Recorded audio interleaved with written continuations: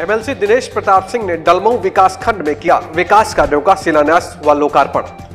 आज डलमऊ विकास खंड में जिला पंचायत द्वारा निर्मित व निर्माणाधीन सड़कों, मिनी स्टेडियमों का उद्घाटन व शिलान्यास कार्यक्रम ज़िले के एमएलसी दिनेश प्रताप सिंह, क्रमशः सोहावल, उमरामऊ, कटघर पकड़ा पहुँचे। एमएलसी में का उपस्थित लोगों ने माल्यार्पण कर भव्य स्वागत किया। एमएलसी दिनेश प्रताप सिंह ने कहा कि पिछले कार्यक्रम के भांति इस बार भी कार्यक्रम में उपस्थित बड़े बुज़ुर्गों के बीच से ही उन्हीं के द्वारा शिलान्यास व लोकार्पण कार्य पूरा कराया व उन सभी से आशीष प्राप्त किया। तत्पश्चात कटघर में ही एक किसान मेले व संगोष्ठी का आयोजन किया गया था, जिसमें दिनेश प्रताप सिंह मुख्य अतिथि के रूप में पहुँचे थे। उन्होंने मेले में आए हुए सभी किसान बंधुओं को भाजपा सरकार द्वारा चलाई जा रही आधुनिक कृषि प्रणाली से संबंधित योजनाओं के बारे में किसान बंधुओं से जानकारी प्राप्त कर लाभ उठाने व उत्तम कृषि करने की अपील की। अंत में सभी किसान बंधुओं का कार्यक्रम में आने के लिए हृदय से आभार भी व्यक्त किया।